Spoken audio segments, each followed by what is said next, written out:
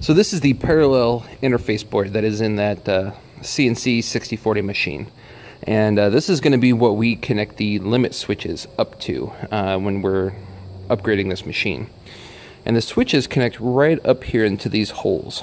You have uh, the ground all the way to the right here, and then these other three holes uh, are for each axis. Uh, whenever you ground them out, it should stop the axis from moving.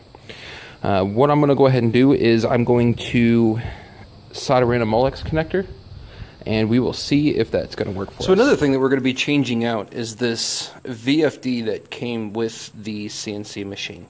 Um, there's a couple reasons. For one, if you saw my video, uh, my CNC 6040 review and rant, um, I talked about this thing overheating and having issues. Um, but we were playing around with it earlier, and decided to let out its magic smoke and popped. And you can see right back here, something, and we don't, we can't find any trace of what actually came off there, but something popped off right here.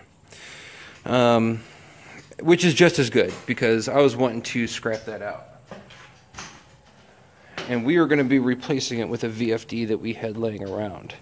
Uh, the last one was rated for 750 watts, and this one is rated for uh, 1500 watts.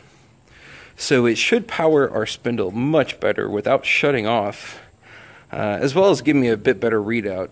Um, you know, rather than just the uh, the uh, frequency the drive is running at, you know, it'll give us the uh, rotation and the uh, amperage coming in as well. Um, I will go ahead and update you once I get this in and we get those uh, limit switches put in and we'll see how it Okay, runs. so we had gotten everything wired up here. As you can see, we got the VFD wired up. Now, there's no like real logic being go, uh, routed to this VFD because I'm still using the old parallel port control board. Um, I do plan on upgrading that uh, to a USB control board. I got a couple. I found a couple online that I've been looking at. Um, they're not really cheap because I want the software to come with it. Uh, so I haven't gotten it yet. Um, in the meantime, obviously I have to run these wires differently, um, but I use a Molex connector to wire in the uh, limit switches into that control board. Uh, that'll make it pretty easy whenever I get the new control board to just disconnect and reconnect these switches up. Uh, chances are what I'll end up doing is putting a Molex in the back here, um, or a pass-through of some sort to have it come here. Um, let me go ahead and turn this on.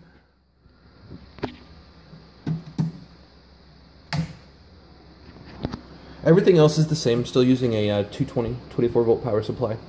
Because um, this was a 220 VFD. Uh, I, I did at one point want to get everything switched over to 120, but these VFDs aren't cheap.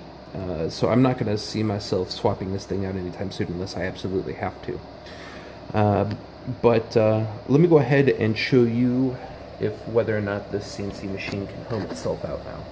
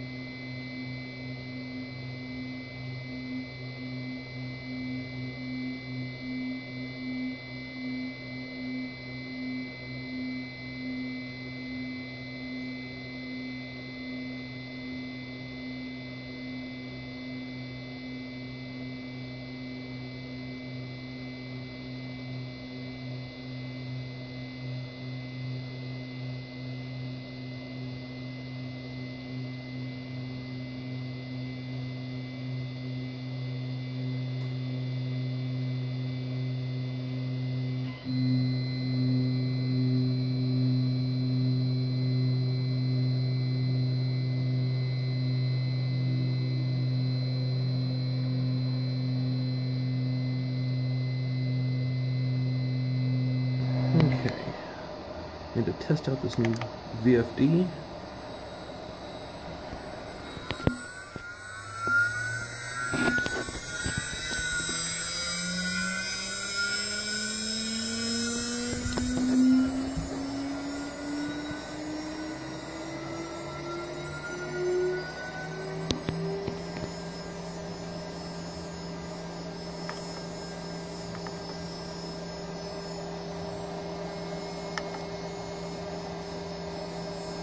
Looks like we're getting about 11,500 RPMs.